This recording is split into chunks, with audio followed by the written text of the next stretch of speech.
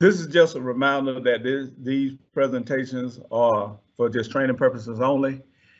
We will be talking about the pre-acquisition process along with the appraisal process and the importance of it. There are three ways that we acquire right of way from a valuation standpoint, and that is by using a cost estimate, a data book, or an appraisal. And we're going to talk about these three items in details. And I just want to mention that there are certain requirements that must be met in order to use each one.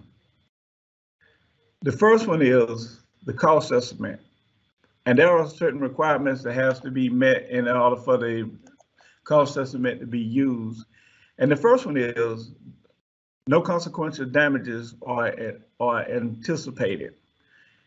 And if you have to ask the question whether or not there are damages, then it is my recommendation that you do not use the cost estimate. If there, there has to be no question in your mind when you use it concerning damages. Number two, the value has to be $15,000 or less in order to use it. And also the values for the cost estimates are approved for 60 days and they have to be approved by the reviewer. And they should be given to the reviewer right before you are ready to start your acquisition because once the reviewer approves it, your clock is ticking. So you have to make sure that you get it to the reviewer right before you're ready to go so you so that you won't cut into your 60 day window. And also with the cost estimate, there is no range of value. You have to make the offer that is made must be what is listed on the cost estimate for that parcel. So if that parcel has a a value of $500, that's what the offer should be because there is no range of value when it comes to the cost estimate. Now the data book is a little different and the data book is the same uh, process as the uh, cost estimate. Number one, no consequential damages are anticipated. If you have to ask the question and say, I wonder if there's any damages on this property, if you have to ask that question, then you cannot use the data book. Also, the value is has to be less than $25,000 in order to use it. And the data book has a range of values, which simply means that between those, those ranges, we have to come up with a valuation in order to offer to the property owner. And those values are also approved for 60 days.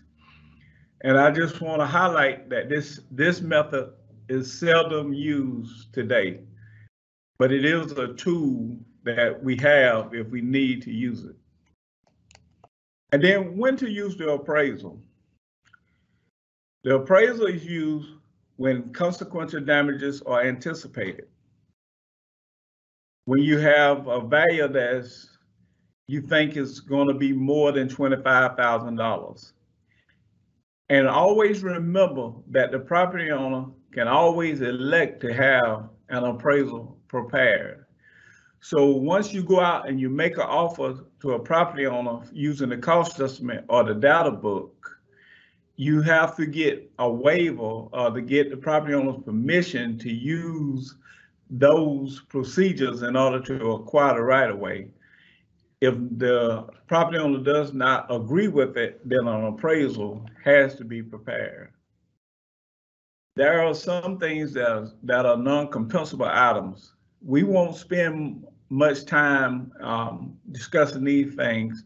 So whoever you're working with um, concerning a project, you might want to discuss with them some of the things that are non-compensable. I would talk about just a couple just like driveway easements and fencing easements are not considered comp uh, compensable items because they are gratuities. They are providing a service to the owners. So therefore, they are non-compensable. So you'll see when you get uh, appraisal sometime where they're not paying for or compensating for certain items and certain easements. And that is why, because they are non-compensable items. Also, just want to discuss donations for a minute. Even though you are getting a donation or somebody might want to donate, you still have to get an appraisal on that property or prepare a cost estimate on that property in order, and an offer has to be made before you can solicit a donation.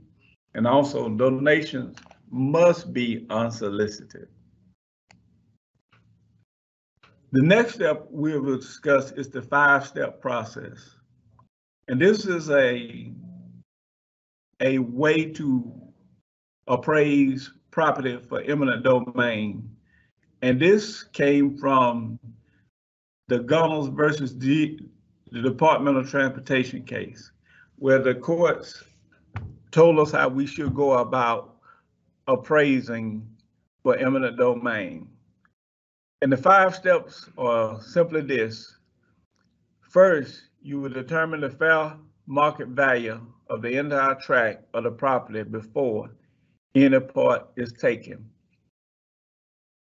Second, the value of the partial portion taken consider as a part of the whole tract. Number three, the value of the remaining tract, but just before the taking, the value of the remaining as a part of the whole by subtracting the value of the part taken from the value of the entire property. Four, the market value of the remainder just after the taking, considering the negative impact of the separation of the part from the whole. And finally, the fifth step, the positive impact of the taking of the part upon the value of the remainder just after the taking. Obviously, steps four and five are dealing with consequential damages and must be determined separately from steps one, two, and three inasmuch as the actual value is determined separately from the consequential damages, which may be added to but cannot be deducted from the value of the part taken. So the five-step process is basically is you value the property in its before state, which means you value the entire property. The second step, you value the part that, that we are acquiring. The third step is you value the before, the remainder in the before. Then the fourth step, you appraise the remainder in the after.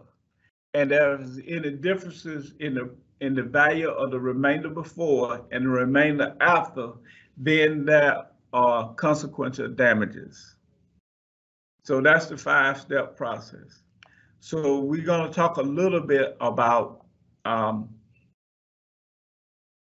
the larger parcel and also another portion of the five-step process. The value of the partial portion taken consider as a part of the whole tract. And that's simply saying if the acquisition is coming off a hundred acre tract, then the properties that are used to, to develop the valuation has to also be 100 acre tracts. If it's coming off a 10 acre tract, then the comparables you would use would be 10, from a 10 acre tract and so on. If you're being acquired from a one acre tract, then you would compare it to other one acre tracts because the value of the partial portion taken is considered as a part of the whole tract. And we have two types of reports.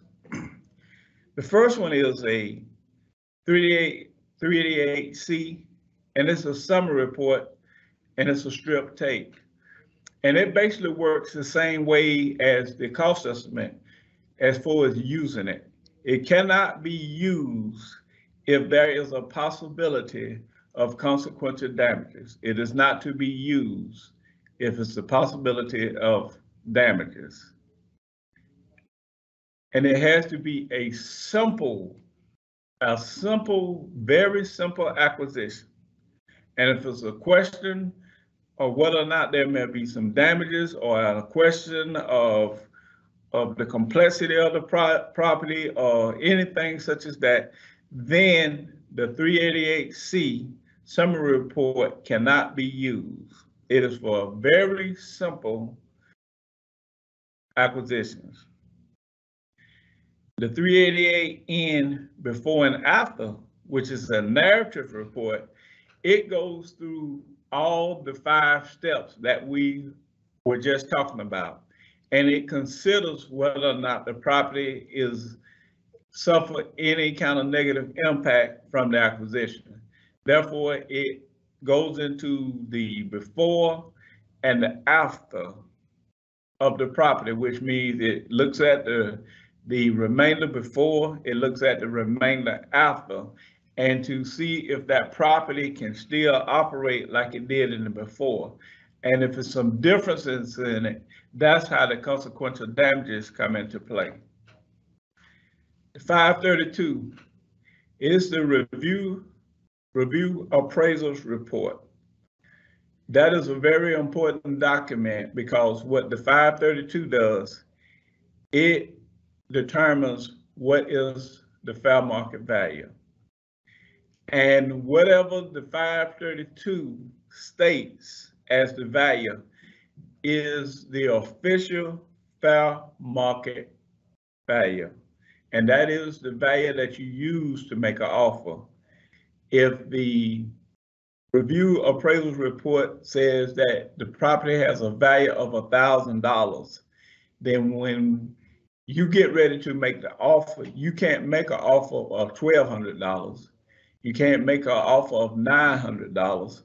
You have to make the offer that is shown on the 532, which is the review appraisals report. And sometimes it might be um, is rare, but you might see in some cases where the appraisal report will have one value and the reviewer's report will have another value. Well, the report that you use is not the appraiser's report but the reviewer's report. The reviewer is the one that it, who established the value. So you make sure that you use whatever number that's on the review appraiser's report because it is the official fair market. And we're just talking about bundles of rights for just a second. And this is very important when you hear the word right of way, that is the same thing as fee simple. And what fee simple is, is that we are acquiring all the rights to that property and we want to own it in absolute ownership, which means fee simple. And we also acquire some properties with an easement. And we have two types of easements basically, and we have a permanent easement and we have a temporary easement. A permanent easement means that we want to keep it into perpetuity, which means the, the easement just continues on. And then temporary easement, when they're acquired, is that they'll last for a while and then they will expire upon completion of the project or for a, a length of time which could be one year, it could be five years, or however many years that is that are established. Um, the purposes of easement, easements are very important um, because what easements can allow us to do is that in places where there where you have to have green space, you have to have a certain area for parking, uh, different things that the property owner needs to meet setback rules because the easement allows us to go into to work, but not to take ownership. And the property owner still owns the property and allows them to continue to still meet those setback rules or any kind of rules that are going on there to allow them to still use their property in some fashion. And temporary easements allow us to be able to work in a certain area for a certain period of time. And once the expiration of the easements has come, then they just automatically revert back to the owner.